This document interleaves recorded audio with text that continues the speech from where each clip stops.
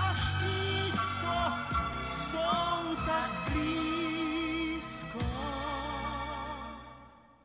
A zítra můžeme umřít, hele. Všechno jsme to dali dohromady.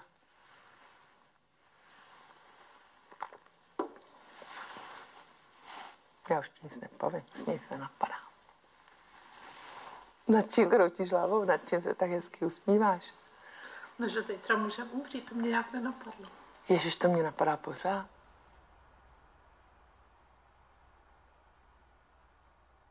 Všechno se mění a všechno se mění, je jedno se nemění a to děvky a chlásky. To jednou jenom zkusíš, tak šroustat nemusíš, to jednou jednou zkusíš, tak nemůže se stát. Všechno se mění a všechno se mění, jen jedno se nemění a to děvky a chlásky.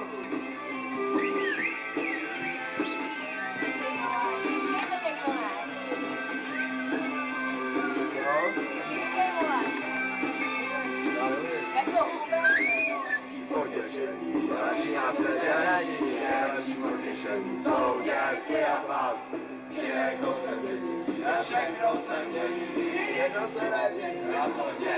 to. Podle mého názoru LSD není droga, která by jako měla být pro povzbuzení, jak si mnoho lidí myslí. Třeba to jsou takový ty morfium nebo marihuana. Spíš jako hippies v tom viděli takové jako odpoutání se od skutečna, což vám skutečně skýtá LSD, protože vás zavede do pohádkového světa, takových barev a krásných takových pocitů chvíli, jak jsem říkal, smutných. Ale každopádně od skutečna, protože hippies, jak známo, protestují proti všemu, co dneska v dnešním světě se děje a chtějí prostě se od toho nějak co nejvíce vzdálit a tou LSD se jim zdá, že jsou nejdál od toho. Všechno se mění, a všechno se mění, jen jedno se nemění, a to děvky a chlásky. Všechno se mění, všechno se mění, jen jedno se nemění, a to děvky a chlásky. To jedno jedno.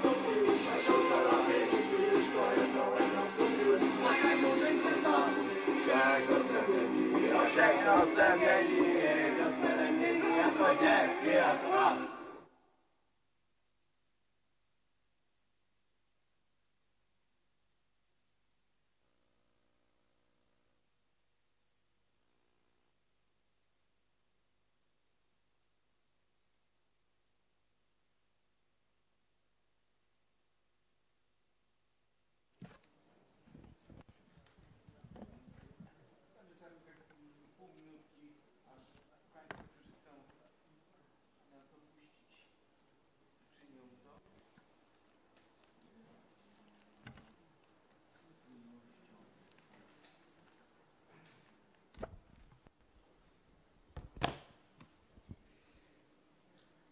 No dobrze.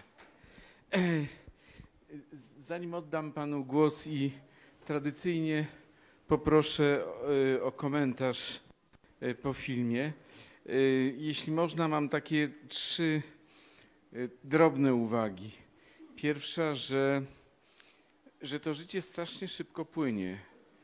Prawda? Mamy film, który trwa e, 123, znaczy godzinę 23 minuty w którym zawierają się, zawiera się 37 e, lat. I to jest, i to jest z tych smutnych refleksji, bo zaraz Pan będzie nam tę część, że tak powiem, optymistyczną tutaj e, e, do, do, dodał. Druga, druga moja refleksja to jest taka, właściwie dotyczy intuicji reżyserskiej, bo yy, y, y, pani e, reżyser Helena Treścikowa, kiedy urodził się Honza, no nie wiedziała, jak będzie wyglądał jego los. A jednak jakimś dziwnym, no myślę, że to jakiś, jakaś intuicja, nie wiem, jakiś, jakiś, jakaś iluminacja postawiła w tej całej historii na historię Honzy. Jeśli patrzymy na rodzeństwo, to myślę, że rzeczywiście los Honzy jest y, najciekawszy y, i y, y, jeśli by tam tym narratorem młodzieżowym, czy tą postacią przewijającą się była któraś z sióstr, to pewnie ten film był, byłby mniej wyrazisty. Y, y, Zresztą y, autorka ciągnie dalej los tego y, człowieka, także za pewnie 10 lat będziemy mieli kolejny film i na naszych oczach Honza będzie tam dorastał. Sam jestem ciekaw, co się tam będzie dalej z nim działo. I ostatnia refleksja dotyczy jakby głównej postaci, czyli ojca, który y, z taką niezwykłą cierpliwością pisał ten pamiętnik. I myślę, że jakby piękno urok tego filmu polega na tym, że ma, mamy do czynienia y, z, taki, z taką absolutną codziennością, że tam w tym pamiętniku nie ma jakiegoś y, patosu, nie ma jakichś, jakichś y, y, takich wzlotów i odlotów. Natomiast no jest taki bardzo chłodny zapis codzienności. Jeśli mogę pochylić się tylko nad losem głównego autora, to, to najbardziej mi smutno jest, że, e, że on przez całe życie nie dorobił się kamery. Że cały czas się powtarza ten motyw, że pożyczył kamerę, prawda? Zmieniają się już technologie, tam 8 mm kamera, później się pojawiają te technologie już wideo i cały czas główny bohater pożycza y, y, kamerę. Y, No, być może, że w następnym dziesięcioleciu y, uda mu się y, wreszcie ją kupić. No to tytułem wstępu, a teraz już poważnie bardzo proszę o komentarz. Ja nawiążę do tego, o czym wcześniej mówiłem, czyli że to jest film dla mnie pełen optymizmu. Ym, Reżyserka stosuje tu, jak powiedzieliśmy tutaj wcześniej, taką metodę długotrwałej obserwacji. Ym, I ta metoda pozwala nam zamknąć y, ludzkie życie jakby w pigułce, czyli ująć je w sposób skondensowany.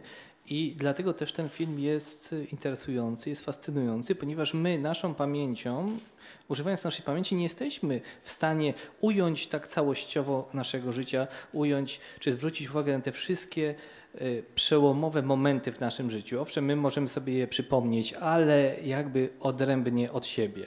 Natomiast kamera filmowa, czy też aparat fotograficzny, bo tutaj ojciec rodziny używa aparatu, on tę kamerę pożycza, ale używa też aparatu fotograficznego, pozwala nam te, te, to życie ująć w takiej jakby pigułce, sposób skondensowany, powiedzmy od początku do końca, czy od pewnego etapu do pewnego etapu. Tutaj mamy te 37 lat i pozwala zastanowić się nad tak zwanym ludzkim losem, czyli nad tym, jaki jest sens tego życia tak naprawdę. I wydaje mi się, że optymizm tego filmu wypływa z tego, że on uzmysławia nam ten sens i ten sens, tym sensem jest pokonywanie przeszkód, pokonywanie ograniczeń w relacjach międzyludzkich, tak? w relacjach między tymi członkami rodziny. A więc tytuł tego filmu jest, czyli Prywatny kosmos, jest tytułem jakby metaforycznym, symbolicznym na kilka sposobów. Z czym nam się kojarzą właśnie, z czym nam się kojarzy podbój kosmosu, ten wątek się tutaj przewija kilkukrotnie przez film, z pokonywaniem jakichś ograniczeń. Tak? Ludzkość pokonuje ograniczenia, pokonuje tą grawitację.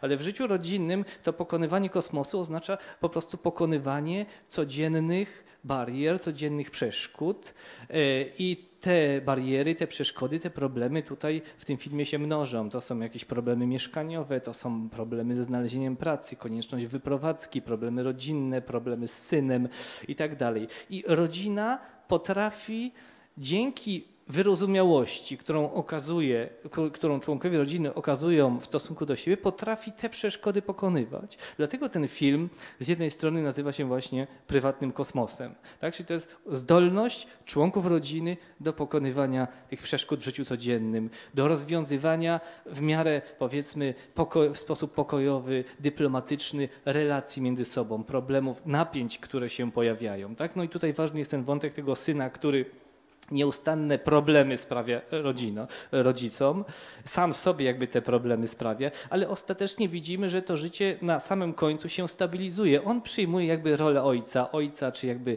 ojczyma wobec tego przybranego syna, syna i okazuje się, że życie zatacza krąg, że on ma podobne problemy z tym przybranym synem, jak wcześniej rodzice mieli, mieli z nim, ale w domyśle, biorąc pod uwagę los relacji między Honzą a jego rodzicami, możemy się domyślać, że i los tego jego przybranego syna też jakoś potoczy się w końcu dobrze. Więc stąd po pierwsze to jest optymizm tego filmu, jakby wypływa z tej umiejętności rozwiązywania problemów w życiu, w życiu codziennym. Ale ty, tytuł tego filmu, y, Prywatny Wszechświat, Prywatny Kosmos, ma jeszcze drugie znaczenie, bo w tle tej historii rodzinnej widzimy nieustannie politykę. Tak? Widzimy Gustawa Husaka, ten film zaczyna się od takiej migawki z okresu praskiej wiosny, później z okresu normalizacji, kilka występów, przemówień komunistycznego y, prezydenta, jednocześnie pierwszego sekretarza partii czechosłowackiej, Gustawa Husaka, później pojawia się Havel, y, pojawia się, y, pojawia się Klaus, a więc jakby ten czas polityczny leci, ta, ta polityka się zmienia, ale ten film jednocześnie pokazuje, że ta polityka która oczywiście też ma swoje perturbacje, nie wpływa tak wyraziście na życie tej, na życie tej rodziny. W jednym momencie nawet y, ojciec rodziny, pan Kettner, mówi, że no tak karta 77, czyli to środowisko opozycyjne, to mnie tak za bardzo nie interesowało. Tak? Oni się później interesują, jakby włączają w tą politykę. Zależy im na tym, żeby zobaczyć Hawla, który przyjeżdża w pewnym momencie do Liberca. Ale y, to, na co ten film wskazuje, y, na co, co pokazuje, co, co, co nam uzmysławia, co podkreśla, to jest jakby taka rozdzielność oddzielność życia rodzinnego i życia politycznego. Życie polityczne gdzieś tam toczy się swoim, swoim torem, a życie rodzinne toczy się swoim torem. Tak? Układa się jakby niezależnie od wydarzeń politycznych. I w tym momencie możemy mówić o jakby drugim znaczeniu tytułu tego filmu, prywatny kosmos, czyli ta rodzina znajduje jakby w życiu rodzinnym azyl. Azyl, który ją izoluje od problemów tak zwanego wielkiego świata, od problemów politycznych. Polityka zresztą jest w tym filmie pokazana w sposób satyryczny. Tak? Co, jakiś, co, co chwila widzimy jakąś migawkę z przemówienia właśnie Husaka, najpierw później Hawla, później Wacława Klausa. Ale y, ci politycy właściwie mniej więcej możemy powiedzieć mówią to samo. Tak? Oni są pokazani jako takie figury, które wypowiadają się w sposób oczywiście retoryczny, y, w sposób ogólnikowy. To są zawsze jakieś życzenia szczęścia y, w przypadku Husaka, czy to są słowa prawdy, które wypowiada Havel. Ale tak naprawdę w tym filmie tak wielkiej różnicy między politykami i tego, w jaki sposób oni traktują swoich odbiorców, obywateli, nie widać. Polityka jest pokazana w sposób satyryczny także dlatego, że także jakby na przykładzie tego, na, na przykładzie postawy, na przykładzie y, postaci Karela Gotta, która się tam bardzo intensywnie przewija. I co my widzimy? Że Karel Gott właściwie niezależnie od systemu politycznego, niezależnie od momentu jest zawsze na świeczniku. Tak? Zawsze przyjmuje odznaczenia, zawsze występuje w telewizji, zawsze jest na pierwszym planie. Karel Gott jest, możemy powiedzieć, tutaj przykładem postawy postawy odwrotnej do tej postawy, jaką przyjmuje rodzina, bo rodzina Kettnerów, jakby możemy powiedzieć, izoluje się częściowo od tego życia politycznego.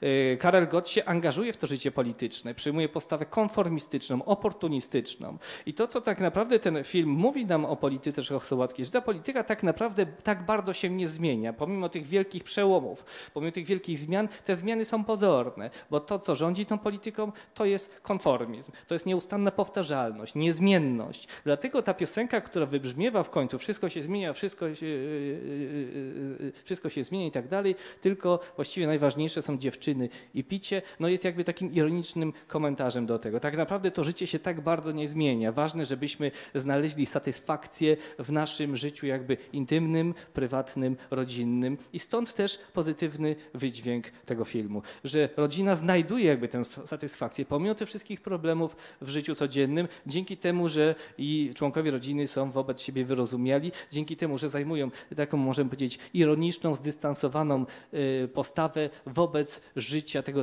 tak zwanego wielkiego życia politycznego, wielkiego życia społecznego.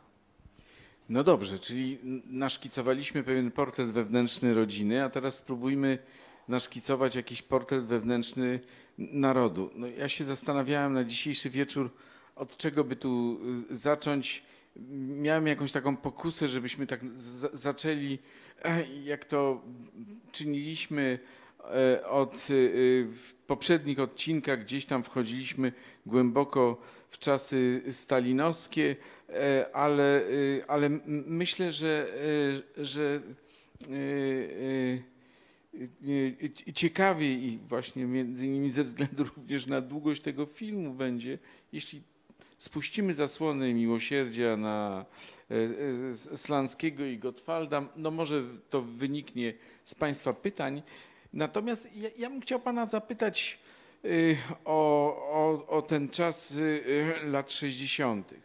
Otóż no, za, za, zaczęła się ta koncepcja i ta wiara budowania y, socjalizmu z ludzką twarzą, prawda?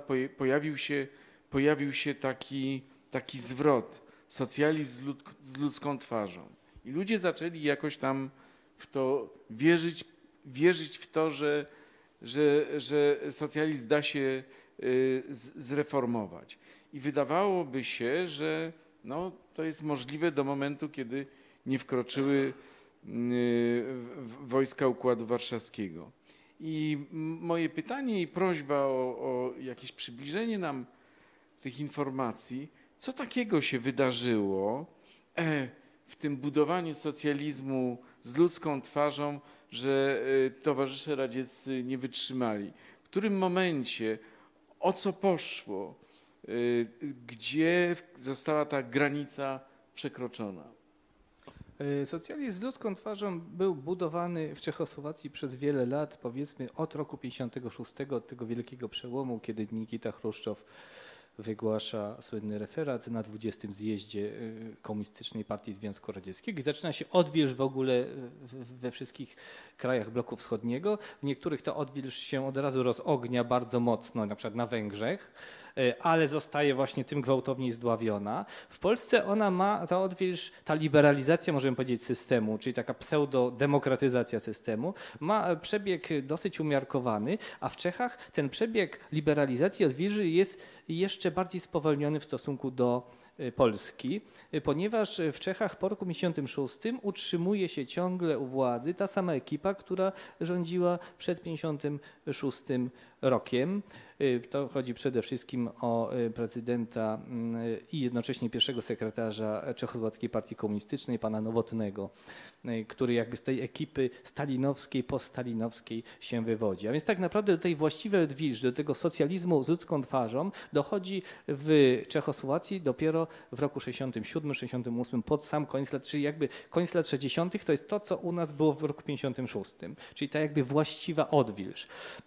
Możemy powiedzieć zatem, że ten proces odwilżowy dochodzenia do roku 68 się niezwykle w Czechosłowacji ślimaczy ze względu na to, że u władzy jest ciągle ta poststalinowska poststalinowska ekipa, więc nie było tam w Czechosłowacji takiej, możemy powiedzieć, czystki politycznej, z jaką mieliśmy w Polsce, z taką wymianą jakby kadr w partii komunistycznej. Ta wymiana kadr dokonuje się dopiero w 1968 roku, y, ponieważ uwydatnia się wtedy w Czechosłowackiej Partii Komunistycznej rozłam między skrzydłem liberalnym, czy rozłam na skrzydło liberalne i skrzydło to takie betonowe, konserwatywne. I to skrzydło liberalne zdobywa stopniowo, czy nawet bardzo szybko od roku 67 do 60 do 68 przewagę w partii komunistycznej. E, Rozpoczyna się proces reform w 68 roku. Najważniejszą reformą jest najpierw zawieszenie, a później zniesienie cenzury, bo to oznacza możliwość otwartego mówienia o problemach społecznych, politycznych, gospodarczych. Oznacza wolność artystyczną, oznacza wolność prasy, oznacza wolność telewizji. To jest okres niesłychanej emancypacji środków masowego, masowego przekazu. Y, Jest to też okres paradoksalnie y, rosnącej popularności partii komunistycznej wśród obywateli. Bo kto zaczyna tę odwilż, tę liberali- liberalizację? To nie są jacyś opozycjoniści, antykomuniści, tylko ta odwilż, ta liberaliza- liberalizacja zaczyna się wewnątrz partii komunistycznej. Hasło socjalizmu z ludzką twarzą promuje i wymyśla Aleksander Dubczek, tak? czyli ówczesny pierwszy sekretarz komunistycznej e, partii czechosłowackiej. E, Dopiero w późniejszym czasie, w, możemy powiedzieć w drugiej połowie roku 68, e, partia komunistyczna, liberałowie z partii komunistycznej pociągają za sobą tak zwanych, możemy powiedzieć, zwykłych obywateli, tak zwykłych czytelników gazet, e, widzów telewizji, którzy jakby, e, możemy powiedzieć, firmują y, firmują te zmiany, które dokonuje partia komunistyczna, ale domagają się jednocześnie tak zwani zwykli ludzie, choćby dziennikarze, domagają się dalszych zmian. Chcą, żeby partia komunistyczna y, przeprowadziła bardziej radykalne reformy. I to y, obserwuje oczywiście, obserwują przywódcy państw komunistycznych ościennych, obserwuje Breżniew, który jest w tym czasie w Związku Radzieckim pierwszym sekretarzem partii komunistycznej, obserwuje Gomułka, obserwuje Ulbricht. Szczególnie y, y, właśnie y, Ulbricht i Gomułka, w mniejszym stopniu na początku Breżniew, obawiają się, żeby ta fala liberalizacji nie rozlała się na ich kraje, czyli przede wszystkim na Polskę i na NRD, ponieważ obawiają się, że utracą swój autorytet, że nie uda im się w ryzach utrzymać społeczeństwa polskiego i NRD-owskiego, w przypadku Breżniewa społeczeństwa powiedzmy radzieckiego.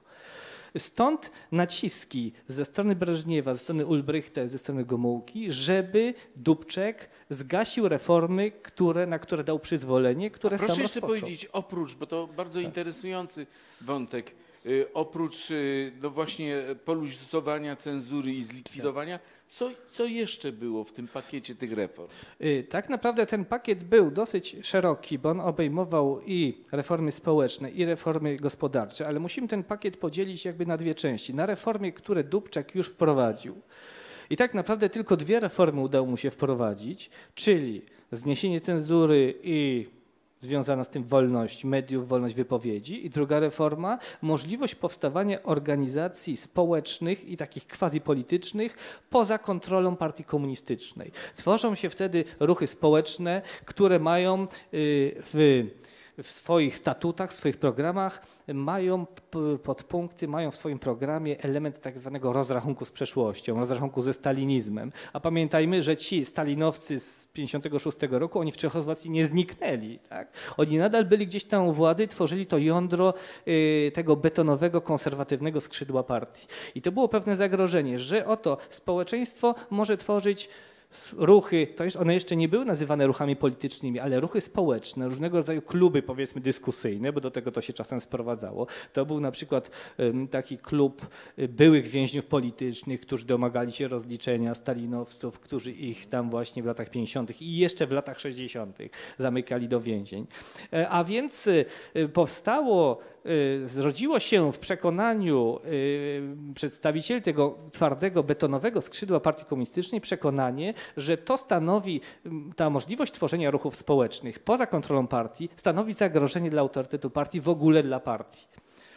Y, Druga część tego pakietu reform to były reformy gospodarcze, między innymi wprowadzenie elementów wolnego rynku, czyli zezwolenie na y, otwieranie małych, prywatnych przedsiębiorstw. Oczywiście to miał być pierwszy krok. Y, I tego pakietu gospodarczego już się y, ekipie Dubczeka nie udało wprowadzić, no bo pojawiły się czołgi Układu Warszawskiego w roku, y, w sierpniu, w nocy z 20 na 21 sierpnia wojska Układu Warszawskiego wkraczają do Czechosłowacji, no i zaczyna się proces wycofywania Czechosłowacji z reform. Przy czym, co ciekawe, Rosjanie po wkroczeniu do Pragi, do Czechosłowacji, pozostawią ekipę Dubczeka przy władzy. Yy, Tylko zmuszają i Dubczeka, i jego otoczenie do podpisania jakby takiej lojalki, czyli zalegalizowania wkroczenia wojsk Układu Warszawskiego, e, Układu Warszawskiego do Czechosłowacji. W ten sposób ta sama ekipa, która wcześniej firmowała reformy, teraz firmuje wycofywanie się z tych reform, czyli na powrót zostaje przywrócona cenzura, e, zakazane zostanie, e, zakazane zostaje działalność tych właśnie ruchów społecznych poza kontrolą partyjną.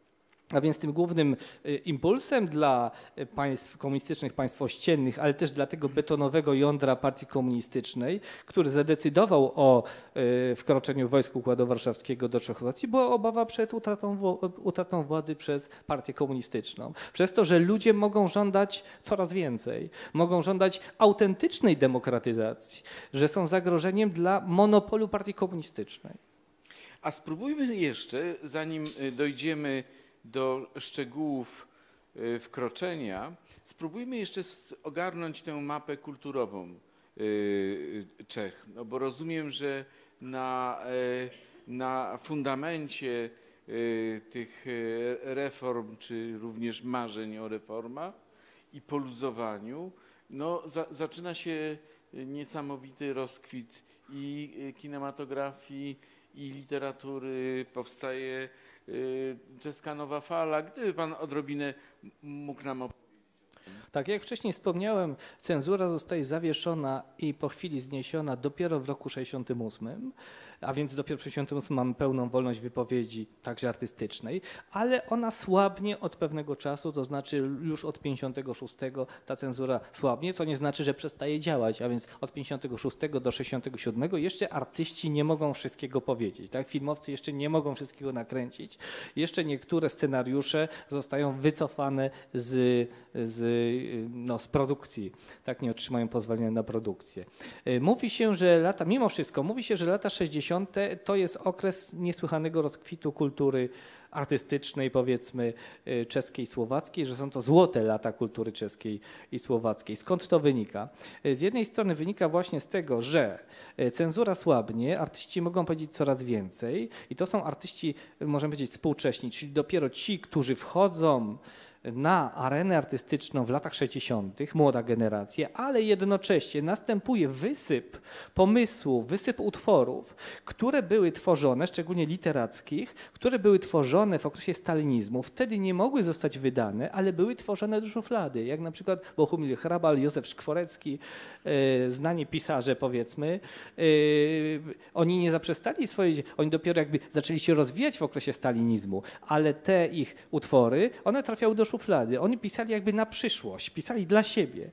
I dlaczego możemy mówić o złotych latach, o niesłychanym boomie, rozkwicie kultury czeskiej i słowackiej w latach 60. Właśnie dlatego, że i starsza, i młodsza generacja, mamy taką kondensację, możemy powiedzieć, możliwości artystycznych, wchodzi wtedy na arenę. Młodzi, bo cenzura słabnie i oni dopiero rozpoczynają swoją karierę artystyczną, a starsi, bo mogą dopiero zacząć publikować, bo tak naprawdę wchodzą w życie artystyczne. A zatem mamy taką kondensację siły artystycznej czeskich słowackich artystów z różnych pokoleń.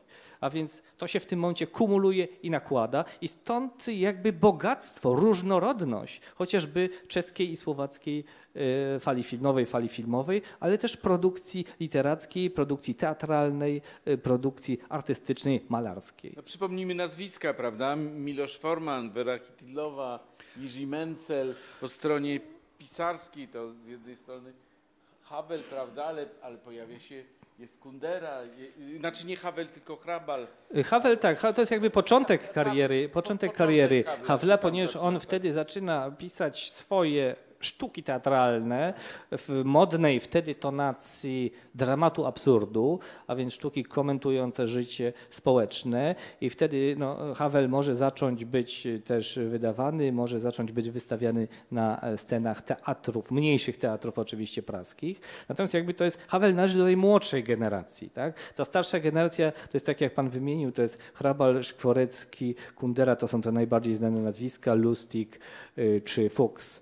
Y, W dziedzinie twórczości filmowej. No to są Wiera Hitilowa, Jan Niemec na przykład, też znany czeski awangardzista, y, Miloš Forman, Jarosław Papouszek, Iwan Passer, a więc tak zwana szkoła Formana, to są ci reżyserzy, którzy korzystają z doświadczeń z jednej strony neorealizmu włoskiego i do doświadczeń francuskiej nowej fali, zaczęli, zaczęli w sposób taki autentystyczny, po części paradokumentalny pokazywać tak zwaną zwykłą czeską czy czechosłowacką codzienność i odnajdywali w tej codzienności jakąś właśnie wartość, w tej banalności możemy powiedzieć. Na tym polega, możemy powiedzieć, przede wszystkim wartość tej twórczości, nie tylko filmowej, ale też literackiej, na odnajdywaniu w codzienności y, tego, co, je, co ma jakąś niesłychaną wartość życiową.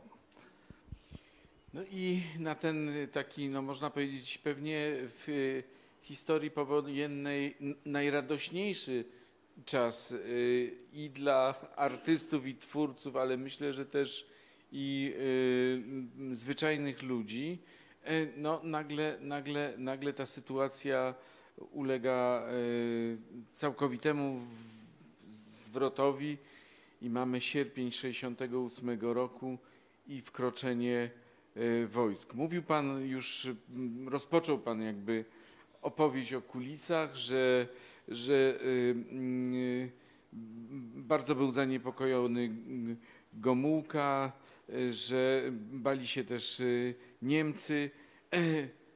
Wszyscy razem tam wkroczyliśmy. Jak to wyglądało? Jak, gdyby pan odrobinę mógł o kulisach wkroczenia opowiedzieć. Y, No oczywiście decyzja o wkroczeniu zapadła w Moskwie.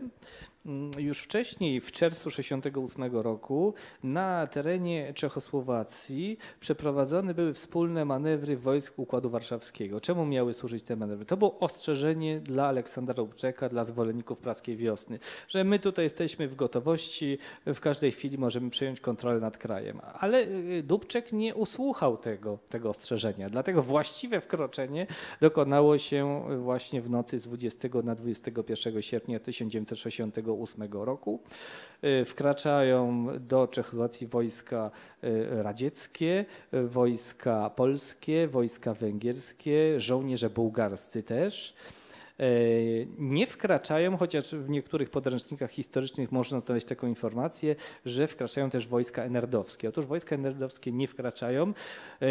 Początkowo był taki pomysł, żeby enerdowcy też wkroczyli, ale przeciwko temu pomysłowi protestują Protestuje to tak zwane no, konserwatywne jądro Czechosłowackiej Partii Komunistycznej, bo wkroczenie Niemców do Czechosłowacji mogłoby, mogłoby się źle kojarzyć właśnie z wkroczeniem w okresie II wojny światowej. Więc następuje tylko koncentracja wojsk enerdowskich na granicy z Czechosłowacją. No i oczywiście tam jacyś ofic- oficerowie enerdowscy jako obserwatorzy zostają do, do Czechosłowacji wysłani, e, ale do tego wkroczenia enerdowców nie dochodzi.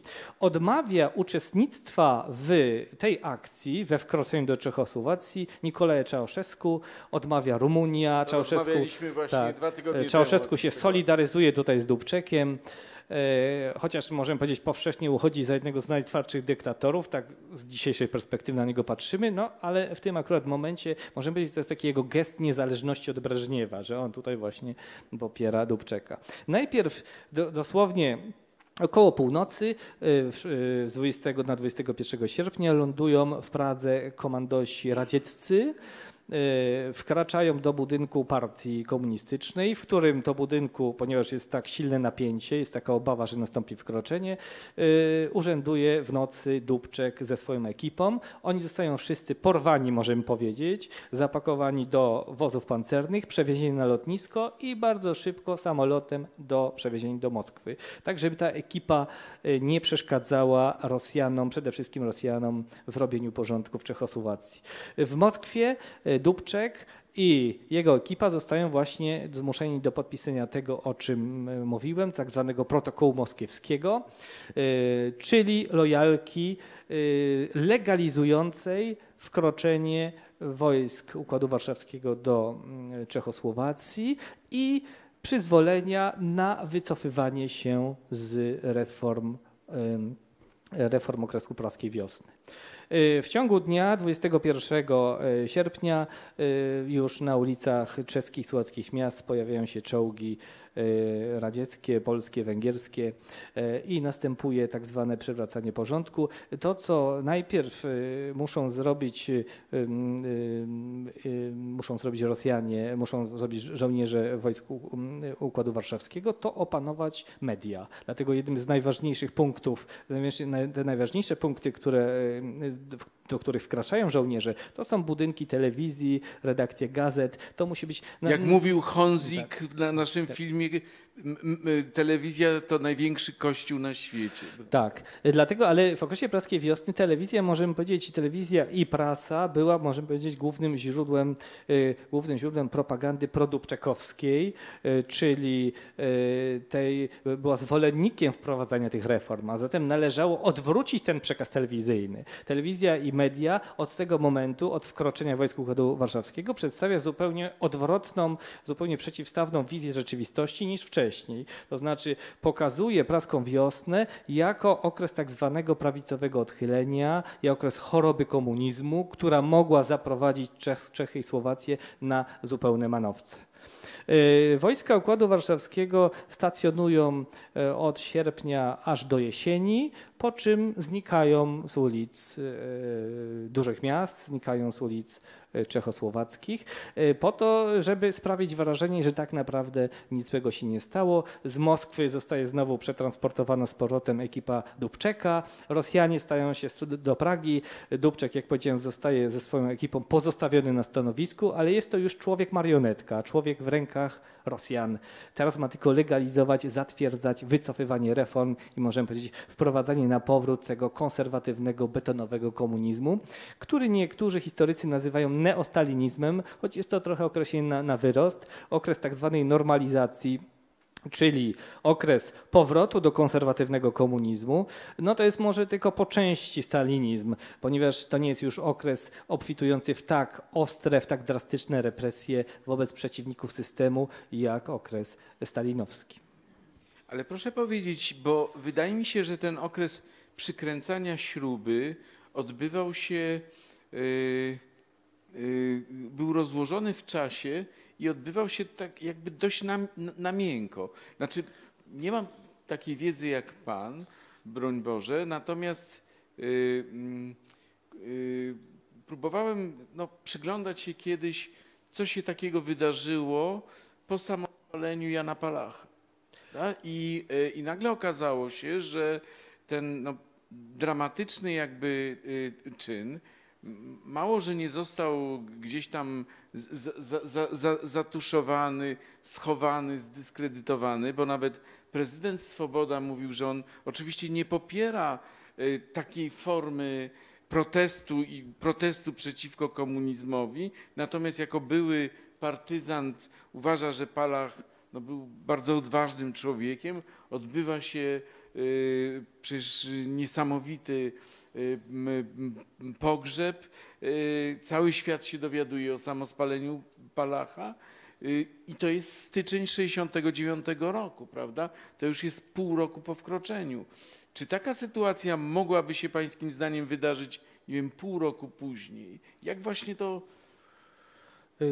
ma Pan rację, że to mm, E, przywracanie konserwatywnego porządku e, komunistycznego odbywało się na tak zwany miękki sposób. Znaczy drastyczne wydarzenie było to wkroczenie wojsk warszawskiego oczywiście. Zginęło wtedy bezpośrednio w momencie wkroczenia około 100, jak szacują historycy, 100 osób, 100 Czechów i Słowaków no, chociażby w wyniku przypadkowych postrzałów, strzałów oddanych przez rosyjskich żołnierzy, w wyniku wypadków drogowych związanych jakby z wkroczeniem chociażby wojsk Układu Warszawskiego. Ale później, tak jak powiedziałem, Rosjanie starają się stworzyć wrażenie, że tak naprawdę nic się nie stało, że to wkroczenie było tylko incydentem. Oni znikają bardzo szybko z ulic, z ulic praskich, czeskich i słowackich miast, po to, żeby właśnie stworzyć wrażenie, że tak naprawdę wszystko wraca na swoje stare tory, że nic się nie zmieniło. Stąd ta Nazwa, którą posługują się czescy historycy na określenie tego okresu powrotu do konserwatywnego porządku, nazwa, możemy powiedzieć, bardzo łagodnie brzmiąca, normalizacja. Tak? Zatem z tego punktu widzenia e, praska wiosna miała być okresem zaburzenia tego porządku, tej, tej normalności. My teraz wracamy do normalności. Chodziło zatem o stworzenie e, wrażenia w Y, takiego wrażenia, że nie nastąpiły żadne drastyczne zmiany w wyniku wkroczenia wojsk Układu Warszawskiego. Y, I oczywiście y, dochodzi do też takich ewidentnych aktów sprzeciwu wobec tej sytuacji, jak spalenie Jana Palacha. Tylko trzeba pamiętać, że Jan Palach nie spalił się albo nie spalił się w proteście przeciwko wkroczeniu wojsk Układu Warszawskiego, bo tu trochę czasu minęło, więc gdyby już miał się spalić, no to wcześniej, tak jak Siwiec się spalił wcześniej, to właśnie Siwiec się spalił w proteście przeciwko zgaszeniu praskiej wiosny.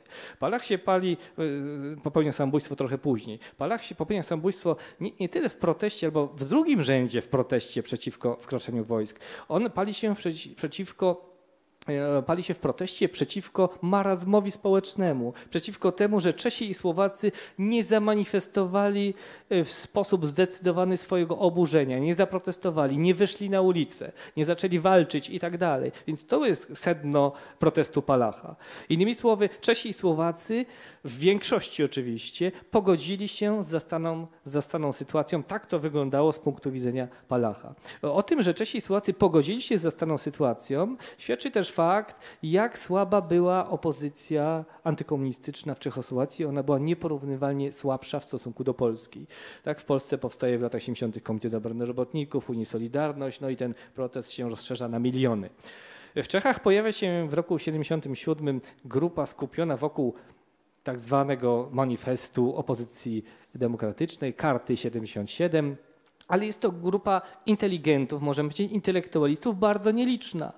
E, do tej grupy należą ci, którzy ten protest, ten manifest podpisują. Dlatego mówi się o środowisku, o sygnatariuszach karty 77. Ale od roku 77 do 89 tylko 2000 Czechów i Słowaków tę kartę podpisało, a więc w przeciągu 10 lat. A więc w roku 77, kiedy ta karta powstawała, to było zaledwie kilkanaście, kilkadziesiąt osób. To była cała opozycja i Partii komunistycznej udało się skutecznie tę opozycję, aby e, świadomość istnienia tej opozycji wygłuszyć. To znaczy odwrócić zainteresowanie Czechów i Słowaków od istnienia czegoś takiego jak opozycja.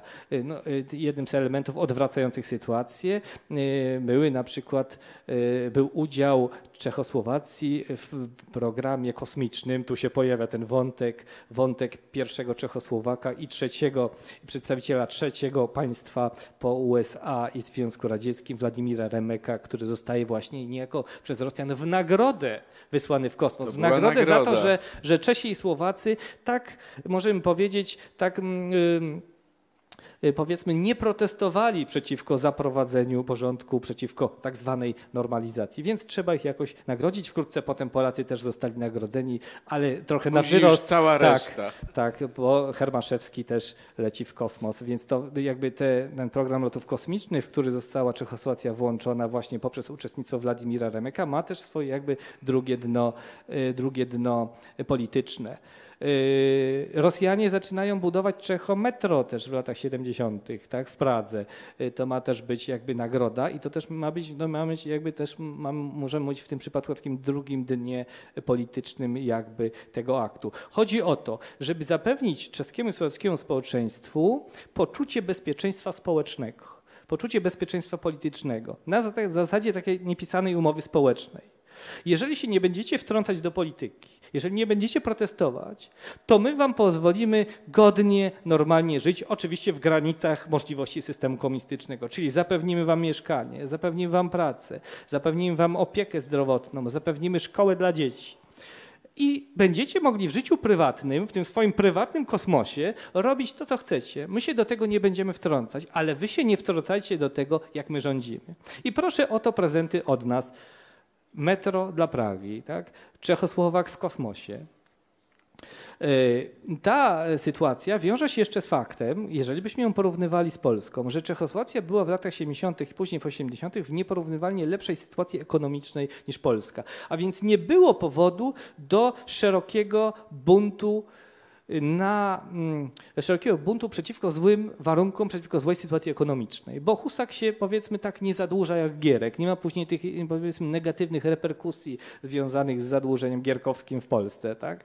Y, nie, nie dochodzi w związku z tym do strajków, do bankructwa. Owszem, inflacja jest. Tutaj pojawia się w pewnym momencie informacja, że ceny benzyny trochę wzrosły, ale to jest inflacja nieporównywalnie mniejsza niż ta inflacja, y, która, z którą mieliśmy do czynienia wtedy w Polsce.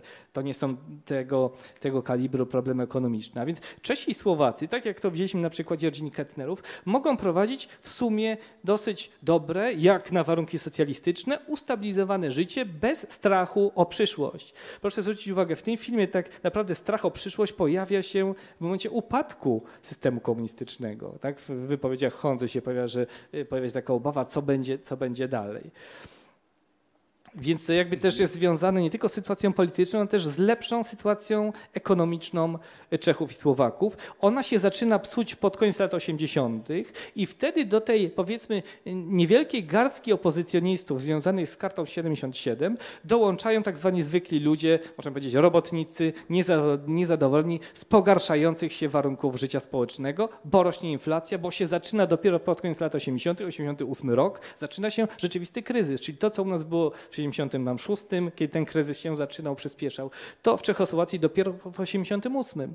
I wtedy dopiero y, powstają warunki dla, y, dla y, obalenia systemu komunistycznego w A, pro, a Czechosłowacji. proszę powiedzieć, e, no bo ten, ten obraz taki jest dość no, miękki, idylliczny, tego, tego godzenia się jakby z, z, z, nową jakby sytuacją. Proszę powiedzieć, na ile w tym, y, w tym całym procesie pomocne były, y, pomocne były służby bezpieczeństwa? Na ile, na ile jeśli znowu porównywać, prawda, skalę, bo tutaj dokonywaliśmy takich jakichś porównań z, z Polską, na ile aparat służby bezpieczeństwa był rozbudowany i na ile y, szeroka odbywała się inwigilacja? Tak, y, y, to rzeczywiście racja. W latach 70. po zgaszeniu praskiej wiosny następuje niesłychana rozbudowa służby bezpieczeństwa, y, może powiedzieć wielokrotna. Y, Szacuje się, że na początku lat 70. ta liczba y, agentów SB wzrasta do 100 tysięcy, a więc należy zwrócić uwagę na jeszcze jeden czynnik, czynnik strachu, który rzeczywiście istniał też w społeczeństwie. Strachu przed angażowaniem się politycznym, przed, przed, przed wyrażaniem swoich poglądów politycznych na głos, ponieważ to mogło się wiązać z różnymi reperkusjami związanymi jakby z inwigilacją, z działalnością służby bezpieczeństwa. Ale to już nie były reperkusje typu stalinowskiego, typu, że komuś groziła śmierć, ciężkie więzienie. Na to skazana była tylko tak naprawdę ta y, autentyczna opozycja, czyli Havel, który wielokrotnie trafia do więzienia, y, Jan Patoczka, który w wyniku ciężkich przesłuchań umiera na komisariacie i tak dalej.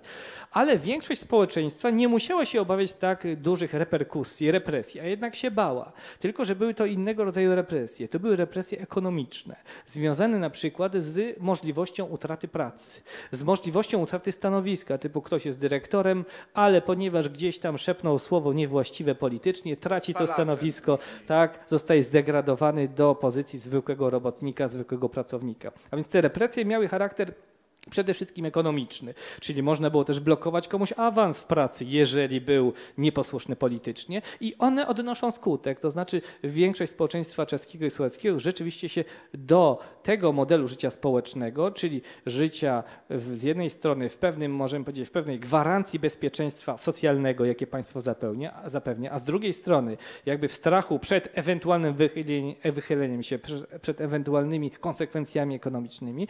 I jakby ten model w Czechosłowacji się sprawdza aż do końca lat 80., czyli w ten sposób jakby system trzyma społeczeństwo w szachu. Z jednej strony dając tą marchewkę, tak, zapewnimy wam bezpieczeństwo socjalne, a z drugiej strony cały czas właśnie grożąc palcem, lepiej zachowujcie się w sposób konformistyczny, oportunistyczny, no bo to się będzie wiązało z konsekwencjami ekonomicznymi. Y, Jeszcze jeśli, za- zanim y, y, Państwa dopuszczę do pytań, to jeszcze, je, jeszcze chciałem dotknąć dwóch spraw. Jedna rzecz to relacja pomiędzy Czechosłowacją i Polską, no, re- reperkusje 68 roku. Czy, czy wojska polskie, tak jak Sowieci, też tylko byli do listopada? Pytam dlatego, że ja mm, kiedyś y, na, natrafiłem na takie archiwum, y, y, archiwum wojskowe, w którym były nagrania aud- audycji radiowych, bo jak już się tam zainstalowaliśmy, to mm, prowadziliśmy jakieś tam audycje radiowe o tym, jak pomagamy Czechom, y, nie wiem, y, tam y, również w tych audycjach radiowych były jakieś przekazy do rodzin w Polsce i wydawało mi się, że, że, że one trwały dłużej, ale to, to był jakiś, jakiś czas temu, nie, nie, już nie pamiętam, czy my też byliśmy tylko tam do jesieni, czy dłużej? Yy, Nie, nie, to znaczy do jesieni wszystkie wojska Układu Warszawskiego. Rosjanie zostali tam dłużej, znaczy do 88, ale już skoszarowani. Rozumiem. Chodzi o to, że na ulicach już nie było wojsk w listopadzie. Yy, Rosjanie pozostali, no pewnie obserwatorzy z innych bratnich krajów również w tych koszarach byli. Yy, Natomiast Ros- Rosjanie pozostali do 68. Rosjanie nie byli skoszarowani w większej ilości w Czechosłowacji. Dopiero o 68, kiedy się okazało, że jednak lepiej by było, żeby byli tam na miejscu. Natomiast oni znikają z ulic, tak nie są już widoczni. Proszę powiedzieć, jak, jak, jak Polska zareagowała na, na, na, na wejście naszych wojsk do Czechosłowacji? E, Znaczy no mówię to, Polska, e, nie mówię o, o, o- władzy, no bo wiadomo, Władza że oczywiście z Gomułka, słynne tak, jego z- przemówienie, z- z dlaczego? entuzjazmem. Tylko mówię, e, pytam o, o, o, nas, o obywateli, jakie były, ja- jakie były nastroje. No, y, to jest też związane jakby z tym, co Polacy w tamtym czasie wiedzieli. No bo jakby obieg informacji, z jednej strony Czechosłowacja jest krajem jakby granicznym, a zatem ten obieg informacji może też być nieformalny. Z drugiej strony mamy przede wszystkim ten główny kanał, czyli obiegu formalnego. I te informacje, które oczywiście docierały do społeczeństwa polskiego, no to były informacje zgodne z propagandą y, komunistyczną. A więc te y, oznaki solidarności wobec narodu czeskiego i słowackiego były też jakby do pewnego stopnia y, ograniczone i głównie one płynęły z strony elity polskiej, powiedzmy o takich korzeniach demokratycznych czy o prezentujących postawę opozycyjną. Natomiast możemy powiedzieć, że jest to taki początek kształtowania się tego, co później rozkwitnie w postaci solidarności polsko-czeskosłowackiej, czyli od tych prostych gestów y, poparcia wyrażanych wobec y, no, Czechów i Słowaków, wobec stłamszonej praskiej wiosny. Ale to też nie były jakieś rzeczywiście gesty o takim charakterze y, wyrazistym, no bo też nie było na to. Znaczy wie pan, y, ja, ja no, pana to w ogóle nie było. Ja miałem 60, y, 12 lat w 68 roku, ale nie pamiętam, mieszkałem w Łodzi, nie pamiętam, no byliśmy dziećmi, ale nie pamiętam, wie pan, czy nie wiem, czy w szkole, czy na podwórku, jakiegoś, y, ja- ja- jakiegoś dramatycznego sprzeciwu. Y, No nawet pojawiały się żarty, no, że pepiki to tak nie potrafią walczyć. Y, To na, na takim poziomie, że tak powiem, młodzieżowo-dziecięcym. Y, y, Nie wiem, czy pan próbował jakoś y, dotrzeć do informacji w takiej skali generalnej. Y, Te, no oczywiście oprócz dramatycznego samospalenia Ryszarda Siwca, który nie, nie dotarł oczywiście ta informacja i iluś tam napisów na murze, y, czy, czy, czy, były, czy były jeszcze jakieś takie dość wyraziste gesty? Nie, no tak jak powiedziałem, że właściwie no, e, Ryszard Siwiec jest tutaj wyjątkiem. To nie były nigdy wyraziste gesty. E, One miały raczej charakter kanałów prywatnych, to znaczy dzięki znajomości polskich opozycjonistów z e, czeskimi przedstawicielami właśnie tego nurtu praskiej wiosny, no to mogły być wyrażane te wyrazy poparcia. Natomiast tak jak pan mówi, to nie miało, to nie miało wymiaru szerszego, wymiaru jakby społecznego. To były raczej pojedyncze, tak jak w przypadku Ryszarda Siwca, jakby pojedyncze gesty, ale nie tak wyraziste jak w przypadku Siwca. Zresztą myślę, że za chwilę od Państwa się dowiemy. Na, na, natomiast to już ostatnia kwestia, którą y, ja chciałbym poruszyć, y, y, to ten czas, krajobraz po bitwie, bo, bo też próbujemy sobie porównywać, jak wyglądał ten proces transformacji i dekomunizacji w wydaniu czeskim, no bo był taki rzeczywiście dość, wydaje się, wyrazisty w założeniach przynajmniej. Tak, no tutaj film Trzesztikowej też obejmuje jakby ten okres, okres przełomu i okres e, transformacji. On się trochę różnił od polskiego. Mówi się, że y, komunizm w Czechosłowacji upadał najdłużej, bo ten jakby okres protestów, szerokich protestów społecznych o charakterze antykomunistycznym, to jest dopiero sama końcówka lat 80. Tutaj widzieliśmy 88 rok, to jeden z pierwszych tam protestów. Później w 89 te protesty się jakby ponawiają. Yy, W listopadzie rozpoczyna się tak zwana aksamitna rewolucja. Ona trwa aż do grudnia. Kto robi tę aksamitną rewolucję? Robią ją pracownicy teatrów przede wszystkim i studenci. Jakby z tego środowiska wychodzi jakby ten płomień, m, który doprowadzi do obalenia władzy komunistów i później do środowiska teatralno-studenckiego dołącza y, Karta 77, czyli byli opozycjoniści y, z Hawlem na czele i wszystko przebiega możemy powiedzieć bardzo szybko. Komuniści zresztą już nie mają w tym czasie oparcia w Związku Radzieckim, bo już Gor- Gorbaczow jest w Rosji od pewnego czasu i co Gorbaczow jakiś sygnał wysyła do y, do rządów komunistycznych. Radźcie sobie sami, rozpoczynam pierestrojkę. Jeżeli się utrzymacie przy władzy, dobrze, jeżeli nie, to jest wasza sprawa. A więc czechosłowaccy komuniści widzą, że nie mogą już liczyć na wsparcie Rosjan, nie mogą już liczyć na drugie wkroczenie wojsk Układu Warszawskiego. Takiego wkroczenia nie, nie, nie będzie, więc idą na kompromis. Y, nie ma w Czechosłowacji tak zwanego okrągłego stołu, tak jak u nas, jakichś negocjacji, tylko dochodzi już do tak zwanych, możemy powiedzieć, bezpośrednich personalnych rozmów. Powstaje pod sam koniec y, roku 89 taki, możemy powiedzieć, rząd porozumienia narodowego, w skład którego wchodzą i komuniści, i opozycjoniści pod wodzą jednego z komunistów. Y, Husak ustępuje ze stanowiska. Nowy parlament wybiera nowego prezydenta, którym zostaje Havel. Stąd nazwa aksamitna rewolucja. Aksamitna to znaczy bezkrwawa, bez, y, bez jakichś szczególnych reperkusji, konfliktów. Y, ten upadek komunizmu następuje bardzo szybko i możemy powiedzieć dosyć gładko. I zaczyna się okres transformacji w momencie, w którym Havel pod sam koniec grudnia, już po świętach Bożego Narodzenia, zostaje ogłoszony prezydentem Czechosłowacji. No i jedna z pierwszych ustaw wprowadzonych później przez, później następują oczywiście wybory parlamentarne, wprowadzonych przez nowy parlament, to jest oczywiście hasło dekomunizacji. E, e, czasy komunistyczne ogłoszone zostają czasami zbrodniczymi, kryminalnymi. Partia komunistyczna zostaje ogłoszona partią e, kryminalną, a zatem jakby te nowe władze odcinają się od tej wyraźnie właśnie od tej przeszłości, y, przeszłości y, socjalistycznej. Y, następuje też bardzo szybko proces lustracji, czyli oczyszczania środowiska, oczyszczania społeczeństwa z agentów służby bezpieczeństwa. To, to, to, to, było jakby, to, było w ramach, to była jakby zwykła ustawa, która pozwalała ujawnić nazwiska agentów służby bezpieczeństwa, nie tyle agentów, tyle donosicieli, ale też agentów służby bezpieczeństwa z ich imieniem, nazwiskiem, miejscem zamieszkania, tym czym się ten agent e, czy też donosiciel zajmuje. I zostały wydane w tamtym czasie takie, możemy powiedzieć, spisy agentów takie wielkości książki telefonicznej, gdzie można było danego agenta odszukać i zidentyfikować. Można było taki spis nabyć w księgarni. Później te spisy leżały na tak zwanej taniej książce, bo one aż tak dużą za grosze można było kupić. W każdym razie tam były dosyć detaliczne informacje na temat agentów służby bezpieczeństwa. To, to, jakie były reperkusje tego?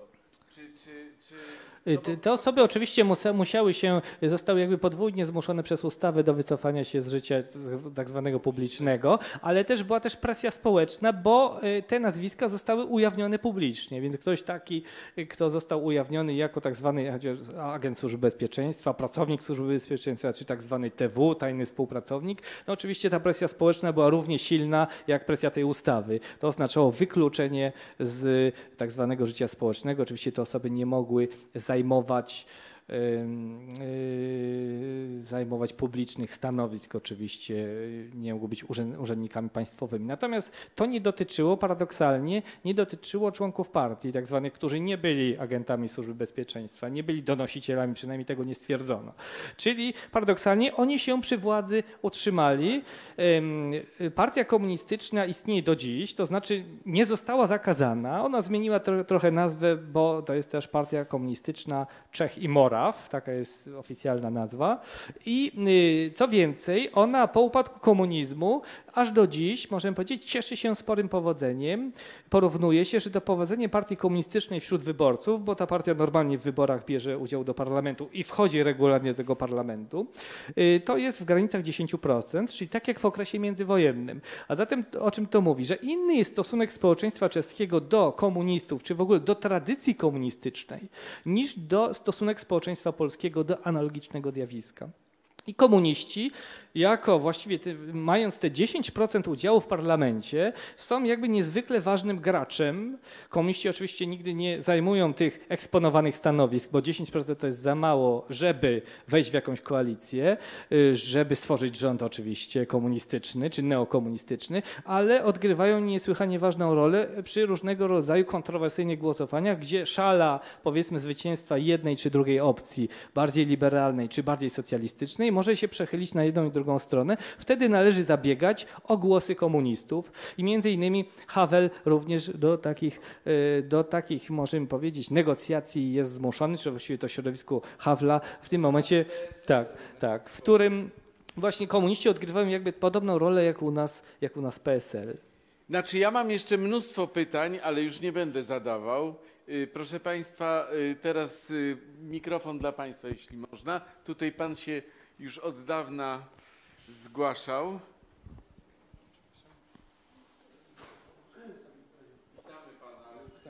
Andrzej Banaszczyk. Proszę Państwa, ja mam y, zanim pytanie główne, to kilka takich jeszcze y, dygresji.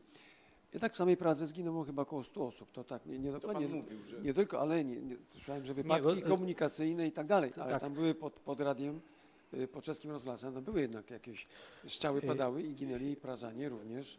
Y, Tak, Y, ale w sumie, jak podają badacze, to jest y, 100 osób w pierwszym momencie, że tak powiem. Natomiast oczywiście tę liczbę możemy rozszerzyć o kolejne dni y, stacjonowania wojsk y, Układu Warszawskiego w Polsce. Więc oczywiście ta o liczba jest. Chodzi mi szczególnie o trochę- Pragę w tych takich zmaganiach z Rosjanami. To ile osób można powiedzieć, że zginęło?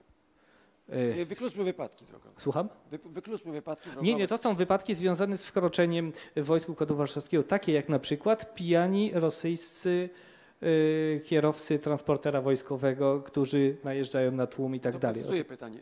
Czy zginęli Czesi w normalnych walkach? Z, z, Nie, nie było normalnych walk. Jeżeli. Nie, nie było broni. Jedyną nie? bronią. Je, tak, Z drugiej strony mogło broń nie być, ale Ro- Rosjanie Jedyną bronią- broń. jedyną Zginął, zginął jakiś Prażan, ale Czech w wyniku strajku, konfliktów, nacierania na Tak. rosyjskie czołgi, czy, Tak. czy pod y, czy czeskim radiem. O, nie, oczywiście, że tak, ale tutaj nie możemy mówić o starciach, to raczej był protest. Y, tą główną bronią, którą w Pradze posługiwali się y, Czesi, no oni przede wszystkim budowali barykady na ulicach, na przykład z autobusów, z tramwajów, ale tą główną bronią były butelki z benzyną, które rzucali na czołgi. No więc to jest jakby, to jest jakby reperkusja. wracam, wracam do, tak, krótko już. Czy były przypadki, ile Czechów, którzy zginęli właśnie w taki sposób? No to y, możemy powiedzieć, że to jest połowa tej liczby. O właśnie, bo to, To to, jest dla mnie około- ważne, bo, około za 50 chwilę osób. które zginęło bezpośrednio w wyniku na przykład no, reakcji rosyjskich żołnierzy na to, że rzucamy y, butelki z benzyną. To będzie dla mnie zaraz ważne do- w związku z pytaniem zasadniczym. Ale to ja bym tak nie spłycał, że, że w wyniku, bo teza pana była taka, że zginęło w wypadku, a wypadku wejść, nie, nie aż tak. Czesi mają tu pewną skazę, o czym za chwilę, ale, ale w Pradze jednak w tym wypadku było ofiar y, takich czynnych zmagań y, z Rosjanami. Druga sprawa, jak słyszę o tym, jak pan opisuje elementy normalizacji, to no nieodparcie widzę współczesną Polskę dzisiaj. Tam normalizacja, tu dobra zmiana. Tam zmieniano, no, narracja radia się zmieniła telewizji, u nas również ostatnio. Także ekonomiczne, y, czyli y, utrata pracy w wyniku innych poglądów ma miejsce teraz, tak i kiedyś. No, zostawię to bez komentarza, bo tylko takie skojarzenie miałem. Proszę Państwa, y, poza tym y, tutaj jeszcze muszę powiedzieć, odnieść się do tego, że y, celowo chyba jednak nawet wszystkie kraje przekazy o samospaleniach wyciszali, bo wiem skądinąd, czytałem niedawno o tym, że tych samospaleń było w demoludach 20, to się około. Stało się to tak popularne, że na Estonii, na Łotwie i tak dalej te samospalenia następowały, czyli też y, to były przykłady za, y, za y, Palachem i Zajcem, czy naszym Siwcem.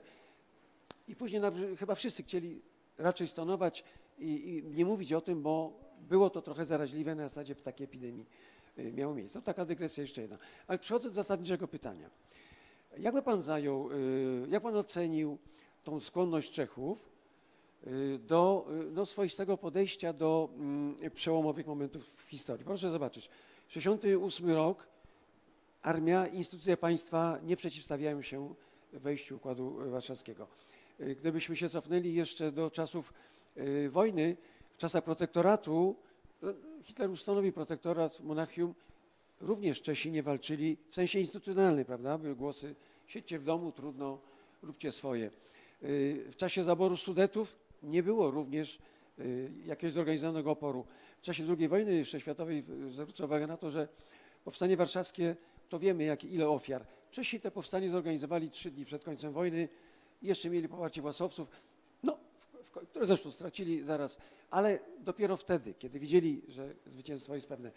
cofając się dalej wstecz, y, możemy stwierdzić, że tak na dobrą sprawę Czesi w jakiś sposób rozsądnie gospodarowali siłami żywymi, y, czyli y, nie było tam bohaterszczyzny czy, czy y, obrony spraw, można powiedzieć, przegranych, często na starcie. Z czego wywodzić tą skłonność Czechów do takiego właśnie, czy rozsądku, bo nie chciałbym i jestem daleki od tego, że uważać za tchórzostwo, jak y, wielki y, naród polski y, najlepiej skwitowałby tą skłonność Czechów mniejszego narodu. Jak jest Pana y, geneza historyczna tego typu delikatnych, ostrożnych zachowań? To jest moje główne pytanie. Tak. Y. Mi się wydaje, że wynika to przede wszystkim z tradycji długotrwałej przynależności Królestwa Czeskiego w przeszłości do monarchii habsburskiej. Znaczy Królestwo Czeskie była częścią monarchii habsburskiej, jeżeli się tylko cofniemy do XIX wieku. W ten sposób, w jaki tutaj, ym, o którym tutaj Pan wspomniał, w jaki Czesi rozwiązują rzeczywiście niektóre krytyczne problemy. Oni do takiego sposobu byli przyzwyczajeni, nauczeni, chociażby w wieku XIX, rozwiązując y, rozmaite problemy polityczne czy społeczne, przede wszystkim na drodze negocjacji, bo tego ich nauczyła tradycja istnienia w ramach wielonarodowej monarchii habsburskiej. Więc tu jakby leży, możemy powiedzieć, y, ta, ta skłonność do rozwiązywania, możemy powiedzieć, na drodze dymo, dyplomacji bez zbędnych strat problemów społecznych i politycznych leży przede wszystkim jakby w tej długotrwałej tradycji nie tylko społecznej, ale politycznej. Ta tradycja polityczna się, możemy powiedzieć, rozwija szczególnie mocno w wieku XIX. Tradycja do rozwiązywania w sposób racjonalny i dyplomatyczny konfliktów. Czyli to, czym stosowali się, ta filozofia, którą stosowali Czesi w wieku XIX, ale jeszcze też wcześniej. Oni sami tę filozofię polityczną nazywali polityką małych kroków. A zatem małymi krokami, idąc na pewne ustępstwa, ale z drugiej strony domagając się y, pewnych małych ustępstw od władzy, możemy uzyskać więcej i, i, że tak powiem, to, co zyskamy, będzie miało, będzie trwalsze, niż gdybyśmy gdybyśmy postawili na rewolucję. Zresztą jeden z najważniejszych czeskich polityków, pierwszy prezydent Czechosłowacji Tomasz Garyk Masaryk, to była jego filozofia. On co on mówił? On miał taką zasadę: nie rewolucja, ale ewolucja. Nie y, budowanie niezależności y, społecznej, politycznej narodu przez walkę zbrojną, tylko przez edukację, przez pracę u podstaw. Jeżeli będziemy silni ekonomicznie, jeżeli będziemy silni powiedzmy intelektualnie, silni społecznie, to ta niezależność, ta niepodległość sama przyjdzie. Więc to wynika jakby też z długotrwałej, wywodzącej się jeszcze XIX wieku tradycji, tradycji politycznej i tradycji społecznej. Z tego, bo jakby ta, ta myśl Masaryka, ta nauka Masaryka, ona jest jakby ciągle aktualna też w wieku XX czy w drugiej połowie wieku XX. Ja myślę, jeśli mogę jeszcze dodać y, y, do, do, do, do, do pańskiej wypowiedzi. Znaczy, po, po pierwsze, oczywiście istnieje pewien taki kanon w naszej świadomości, naszej heroicznej świadomości Czechów, którzy są właśnie tacy troszkę mniej waleczni, tacy bardziej konformistycznie nastawieni do rzeczywistości, ale ja myślę, że to też, co, co jest, że tak powiem, y, y, te- też, też y, pewnie nie, nie, nie, nie, nie, nie, do końca, znaczy ten, ten punkt widzenia, ten, ten taka, taka, takie klisze polskie i, i spojrzenie na Czechów też y, myślę, że nie jest do końca prawdziwe. Natomiast myślę również, że jest coś takiego jak pewien charakter narodowy. Nie wiem, z czego on się bierze.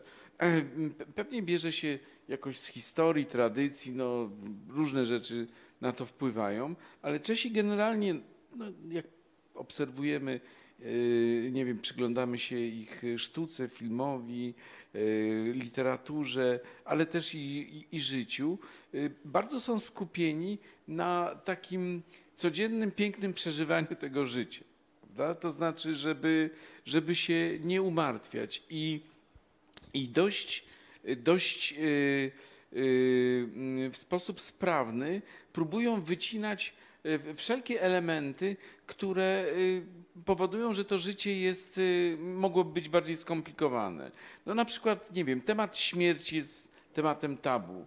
y, u, u, u, Czechów. No nie gada się tam o śmierci. Y, Ma, mało tego, żeby jakoś to szybciej załatwić, to, y, to na przykład w, w, w, w, Czechach y, są y, y, specjalne zakłady y, pogrzebowe i biura, gdzie można sobie już wcześniej pe- pewne rzeczy załatwić. No na przykład, no nie wiem, moja mama jest w szpitalu, więc ja proszę, żeby się nią z, z, z, Państwo zajęli. Jak ona umrze, to proszę ją y, m, y, pochować. Y, Kilka lat temu był ogromny problem y, właśnie w zakładach pogrzebowych czeskich w Pradze.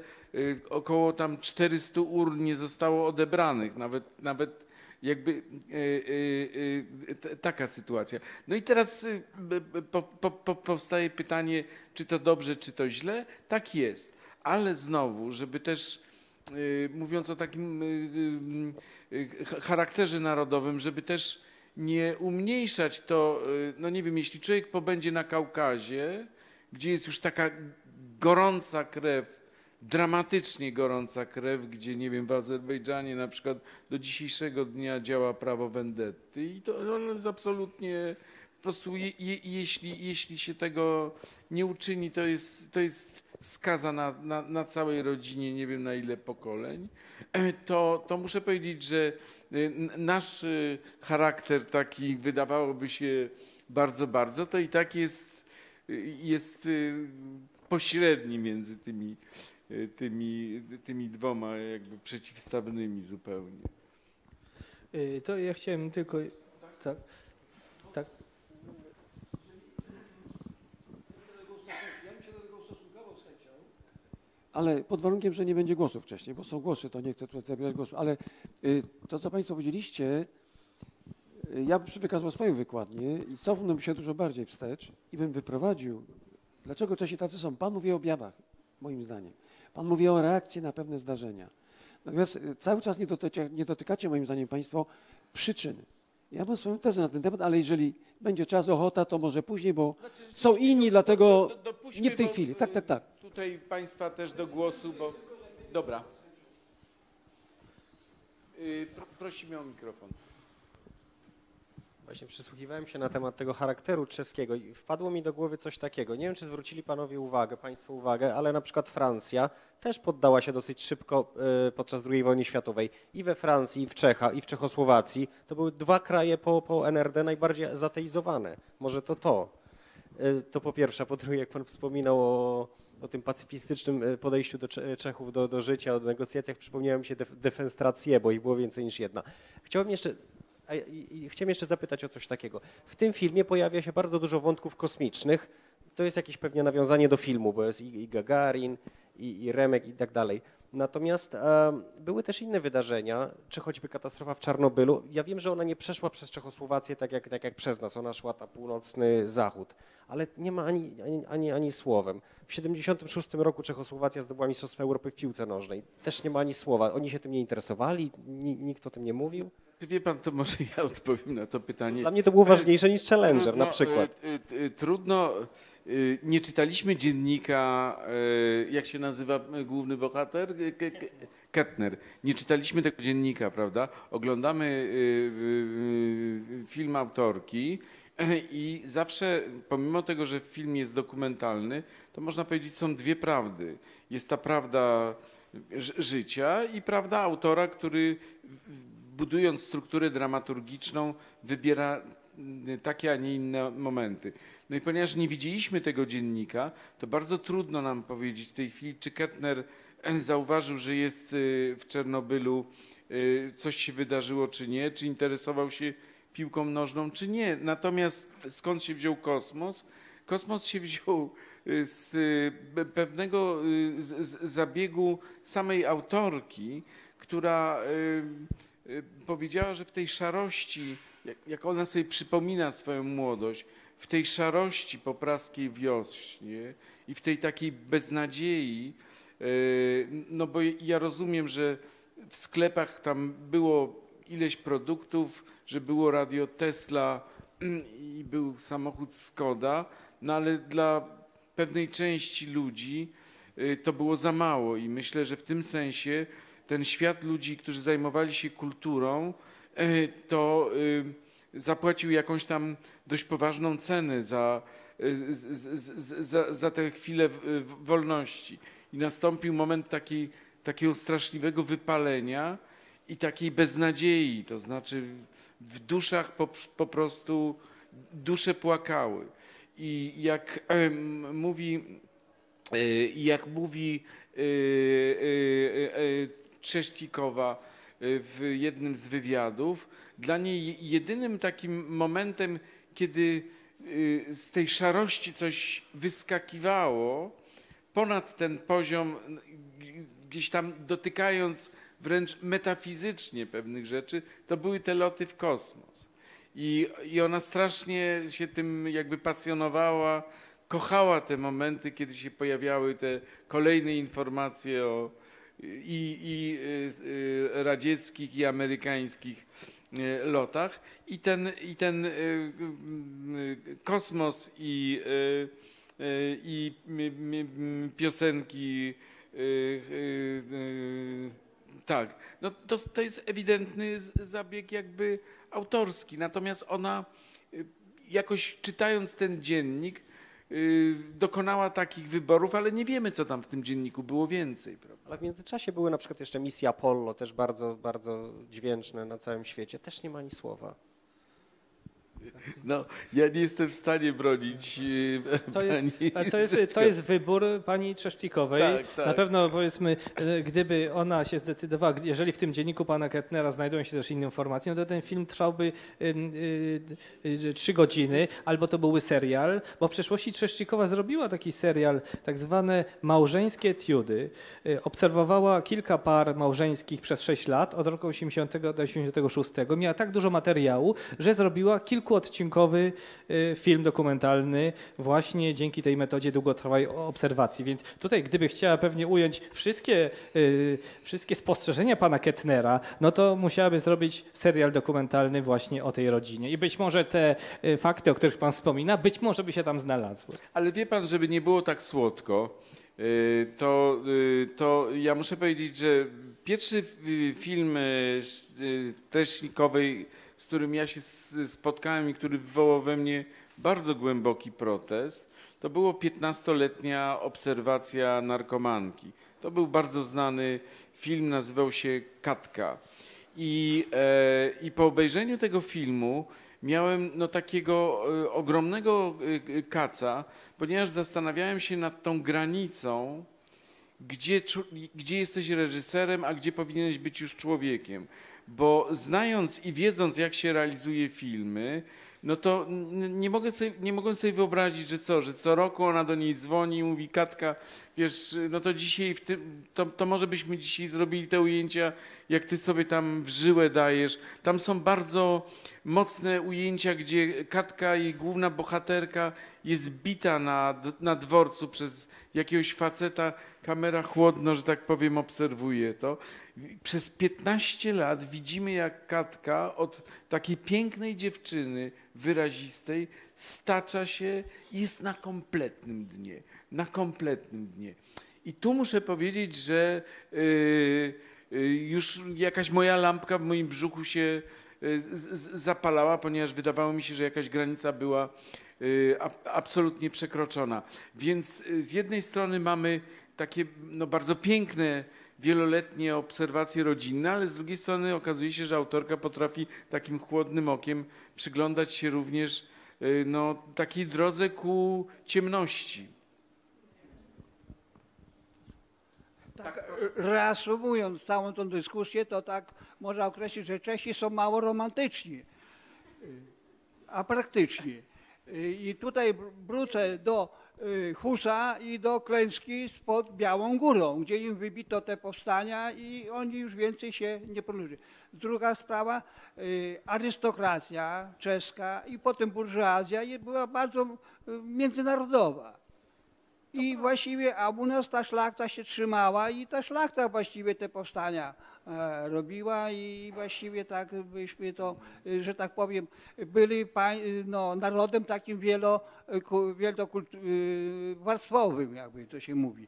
A Czesi stali się narodem plebejskim. I właściwie ten, no, a naród taki plebejski jest bardziej, bardziej praktyczny. Ale widzi- Ale teraz wracając do, do, do sedna sprawy, chodzi mi, że ten najazd państw Układu Warszawskiego to nie, nie, nie był przyczyna, y, była liberalizacja, tylko była przyczyna ta, że y, Dubczek nie zgodził się e, na zainstalowanie w Czechach garnizonów sowieckich bo Praga i Czechy były wyzwolone w 1945 roku przez Amerykanów i tam to był jedyny wynik, gdzie Armia Czerwona nie doszła i tam nie było garnizonów w ogóle sowieckich. Nie wiem, czy na e, Słowacji były garnizony, bo w Polsce przecież, na Węgrzech, w Rumunii, wszędzie była Armia Czerwona.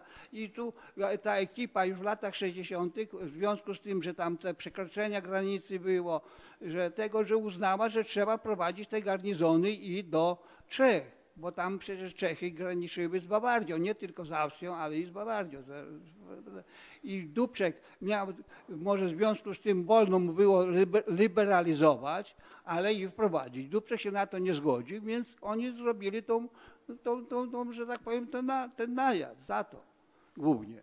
Pan jest Tak. specjalistą, No, ja, tutaj ja myślę, trochę że troszkę uproszczona sprostuję wizja. tutaj. Przepraszam jeszcze, czy w końcu zostały te garnizony y, sowieckie na terenie Czech potem po 1968 roku? Czy Tak, nie? tak, oczywiście, żeby, No właśnie. żeby, ale chciałem tutaj bo, sprostować. Bo może jeszcze dodam, że w porównaniu do 56 roku na Węgrzech, ten, y, ta, gdzie tam potem uciekło gdzieś około 200 tysięcy, y, przekroczyło granicę do Austrii głównie, gdzie y, kilkaset osób rozstrzelano potem w procesach, a kilka tysięcy było więzionych. Także tutaj potem ta czystka w Czechach, w Czechosłowacji była stosunkowo bardzo, bardzo Ale łagodna. też, e, jeśli pan e, e, pamięta, to powstanie węgierskie, opór był e, dużo mocniejszy e, i ono było dużo bardziej krwawe.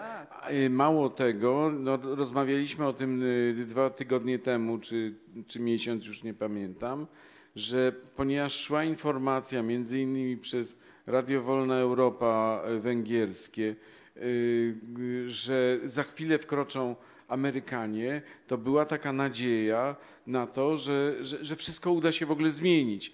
Więc, więc y, bardzo trudno porównywać te procesy jakieś tam liberacy, liberalizacyjne w, w, w- Pradze z powstaniem y, y, w Budapeszcie, prawda? Ale Ono nie było dużo to- bardziej krwawe. Nie chodzi o co innego, że jednak ten no, przywódca węgierski, jak on, Kadar, tak? Potem jednak już on, on czyścił tutaj to, to po sprawę. No tam Tym były bardziej, bardzo, że sam, był, sam był też ofiarą tortur stalinowskich. Też był więziony, a potem jednak się rozprawiał strasznie. I to trwało. Tam nie zabił tylko Imbrenoża, ale tam przecież kilkaset osób było rozstrzelanych, a kilka tysięcy posadzonych, także to była nieporównana Tak, tak, sytuacja. tak, zgadzam się. A teraz tutaj w- Czechach to była liberalizacja przed puczem. I, a druga była po puczu. Także tutaj dwie wersje, a, a na Węgrzech to od razu tam nastąpiło spięcie. W miarę, w miarę, króciutko, żeby Państwo mi powiedzieli. Rola Kościoła, bo nic nie wspominamy. U nas rola Kościoła we wszystkich właściwie historycznych była, e, sprawach była bardzo duża. Tu Państwo nic nie wspominają. Znaczy dzięki za pytanie, bo, Kościół, bo właśnie chciałem o to również zapytać. Tak, Kościół, Kościół e, był, zdaje się, bardzo słaby. Tylko dlaczego był słaby bardzo na Czechach Kościół? Bo był bardzo słaby, prawda? Mało ludzi chodziło do Kościoła. Wiem też, że no po prostu byłem ileś tam razy e, na, na Czechosłowacji i w tych dobrych czasach, kiedy rzeczywiście tam wszystko można było kupić, bez kolejki zjechać na stoku, wypić herbatkę, e, czy, czy jaką tam się dzisiaj to już herberówkę, prawda? E, Dzisiaj to już też nie jest ich, ale właśnie chciałem spytać konkretnie o Kościół. Tak, to ja może tylko krótkie sprostowanie w stosunku do, wobec tego, co poprzedni pan y, mówił. O, otóż y, Czechosłowację, Czechy i Słowację wyzwalała Armia Czerwona. Jedynie Amerykanie wkroczyli w- na, do zachodnich Czech. To był wąski pas na linii Karlowe Wary, Pilzno, Czeskie Budziejowice, y, po czym się stamtąd wycofali, ponieważ taka była umowa ze Stalinem jałtańska, teherańska, jałtańska, że Europa Środkowa należy do Stalina. Amerykanie się trochę, to były wojska generała Pattona, trzecia armia pancerna, oni się trochę zapędzili, wkroczyli do Czech, bo zresztą Patton był takim antykomunistą i gdyby mu Roosevelt, gdyby mu Churchill pozwolili, żeby zajął Czechy, to on by te Czechy zajął. No ale jednak umowa polityczna okazała się silniejsza, Patton się wycofał. W każdym razie na wieść o tym, że Patton ze swoją armią wkracza y, do, Cze- y, do Czech, do zachodnich Czech, wybucha powstanie praskie, bo Czesi myślą, że za chwilę jeszcze tam pół dnia i Amerykanie tutaj jeepami się zjawią y, na rynku Starego Miasta. Więc to nie jest tak, że Amerykanie wyzwalali Czechy, tylko ten kawałek Czech zachodnich wyzwalała je Armia Czerwona, tylko że Armia Czerwona później dobrowolnie się wycofała z Czechosłowacji, dlatego że miała y, y, Czechami od roku 1945 rządzi silna ekipa, możemy powiedzieć stalinowska, później poststalinowska. Czechosłowacja jest dla y, Związku Radzieckiego miała być takim emblematycznym przykładem, jak dany naród, bratni naród wobec narodu rosyjskiego, sam wprowadza komunizm bez pomocy, oczywiście w cudzysłowie, bez pomocy Związku Radzieckiego, bez presji siłowej. Dlatego aż do 1968 w Czechosłowacji nie stacjonowały wojska radzieckie dopiero po roku 1968, bo nie było takiej potrzeby. W 40 latach 50. były kanały przerzutowe polskich Żydów. Studentów tutaj były- Tak, ale to jest, to jest jakby inna kwestia i Tam kontrolowane były te przejścia Tak. takie te, y, kogo przepuścić, kogo złapać. Tak. Ja jeszcze odpowiem tak o sprawę Kościoła. Tutaj musimy rozróżnić, mówiąc o Czechosłowacji, Czechy i Słowacji. Otóż Kościół odgrywał silną rolę na Słowacji. Y, Kościół był centrum opozycji. O ile w Czechach to była Karta 77, czyli to niewielkie grupa, w sumie niewielka grupa, mówimy o latach 70., 80. teraz, niewielka grupa intelektualistów. Owszem, niektórzy słowaccy intelektualiści również podpisali Kartę 77, jak pisarz Dominik Tatarka, ale niewielu Słowaków raczej garnęło się do Karty 77, która miała taki uniwersalny bardziej charakter. Na Słowacji Kościół odgrywał tą pierwszoplanową rolę opozycji politycznej już od dawien dawna, ale w związku z tym też był silniej też represjonowany. Ale możemy powiedzieć, że między powiedzmy polskim kościołem a słowackim kościołem jest większa analogia niż między czeskim a y, polskim. Dlaczego czeski kościół był taki słaby? ze względu na zaszłości kulturowe. Y, Obszar Czech to obszar silnej tradycji protestanckiej, husyckiej, posthusyckiej, utrakwistycznej, kalwińskiej, luterańskiej, y, czeskobratrskiej. Tych odłamów protestantyzmu było tam wiele.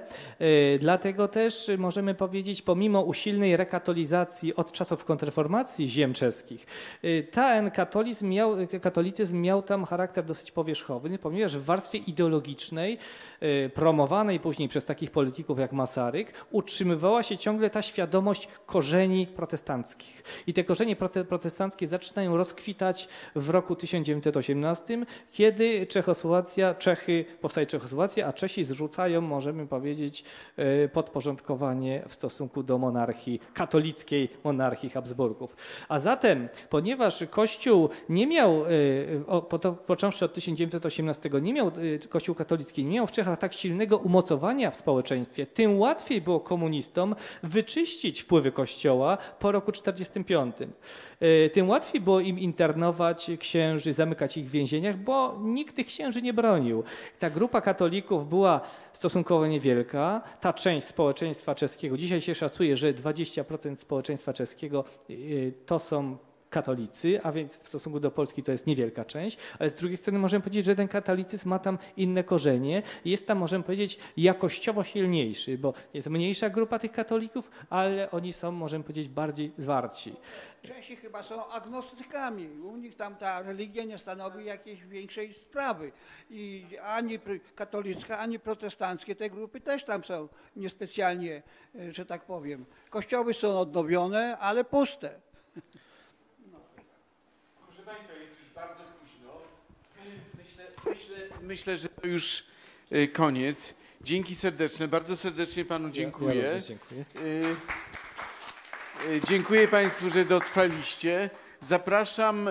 Następne spotkanie mamy y, 27 listopada, czyli za y, 10 dni w niedzielę.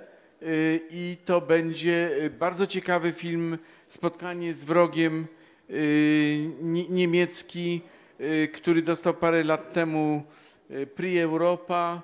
Przeniesiemy się do NRD i będziemy rozmawiać przez ten film o rozliczeniach NRD-owskich. Dzięki.